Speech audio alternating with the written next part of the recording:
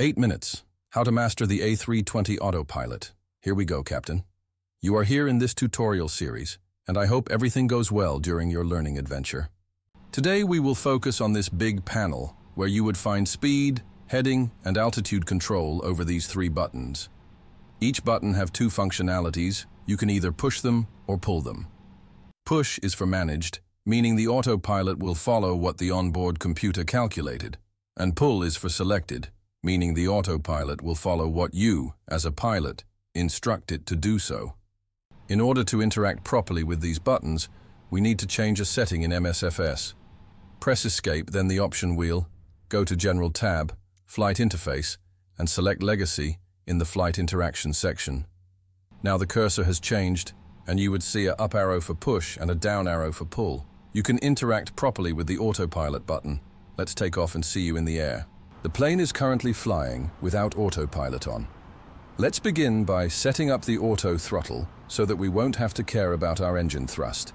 First press the ATHR button, then verify that your thrust lever is in the climb position. If it's not in the climb position, you would see a lever climb indication on the PFD, instructing you to do so. Let's put it back to climb power. The warning message is gone, and we can see a speed indication on the FMA, validating the plane handle the power. Great, auto throttle is set, but no instruction has been given to the airplane yet. Remember, each button has two functionalities. Let's first try to pull the button in order to be in selected mode. In this mode, you, the pilot, control the airspeed directly on the autopilot panel. Increase the airspeed using the mouse wheel and you would see the engine getting a bit more thrust, while the airspeed would increase.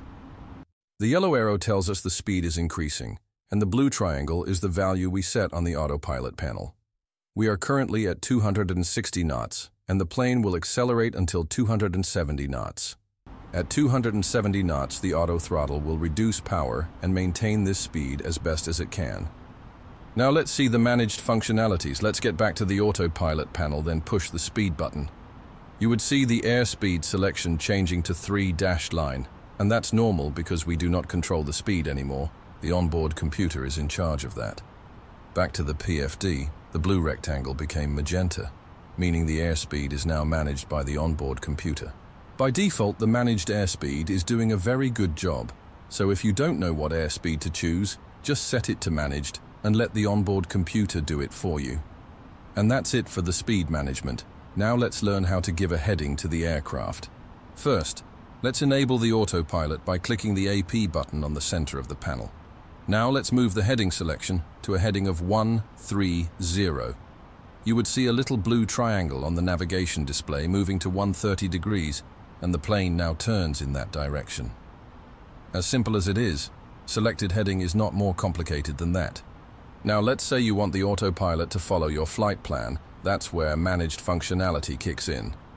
To enabled managed mod, push the heading button and you would see a little dot next to the heading indication as well as a nav in blue on the FMA. It means the autopilot is waiting for the plane to cross the dedicated flight path and then will follow it. Two solutions are available to join the flight path. First, you can set a direct to the next waypoint, and it will create a joining path that your autopilot will catch. Second solution is to manually steer the aircraft in selected mode until you reach the flight path. Let's do that and give our plane a converging heading to the flight path. We are now approaching the flight path. Managed heading is selected as shown by the dot on the autopilot panel and blue nav on the FMA. Joining the path, heading disappear, nav becomes the main instruction in green and the heading indication has been replaced by three dots, meaning the autopilot will get custom headings to follow the path until the end. That's it for heading control. Now let's see how to make this bird climb or descent. Climb functionalities are the same as descent functionalities, so let's focus on descent for this tutorial. We are on our arrival at Boston, and we can see a little broken down arrow on the navigation display. This is our top of descent, and we can also see it on the flight plan page. We first calculate our next target altitude, which is often the last waypoint of the standard arrival.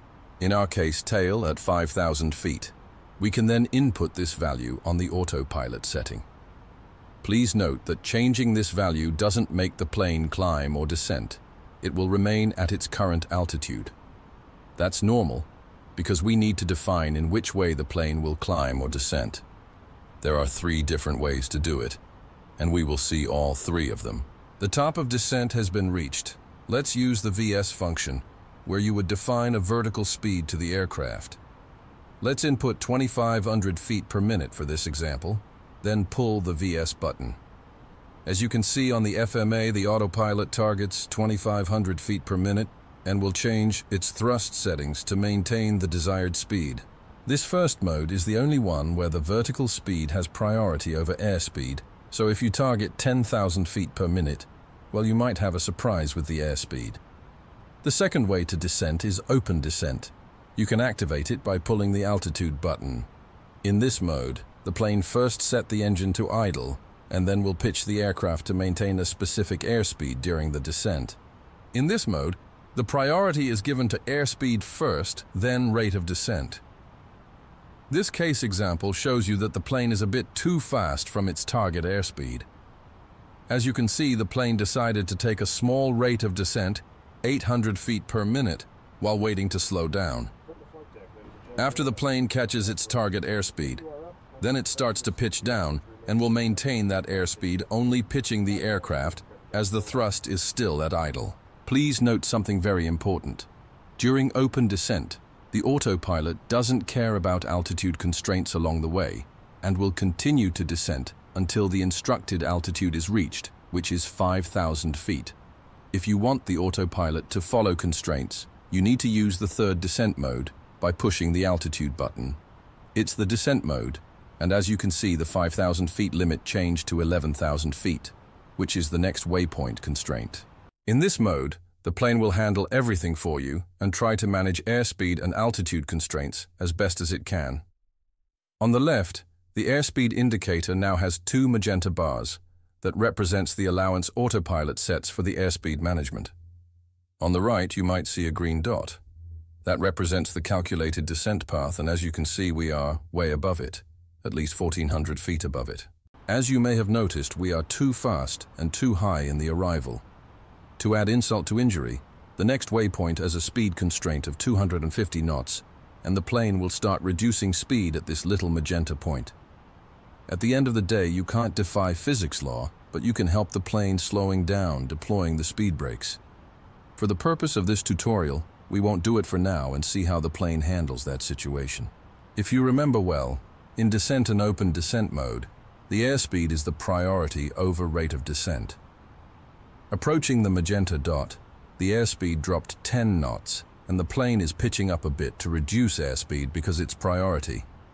As a result, we won't comply with the altitude constraint at this waypoint, but we can see the descent path is closing in. This little zigzag arrow on the navigation display shows you the predicted moment the airplane will catch the descent path. Watch the little green dot on the altimeter getting slowly but surely in the middle. Good. We are now back on track with the descent path, and it should be a lot easier for the aircraft to follow constraints.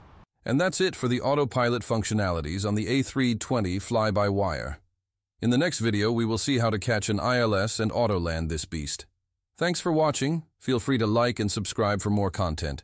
Happy landings, Captain.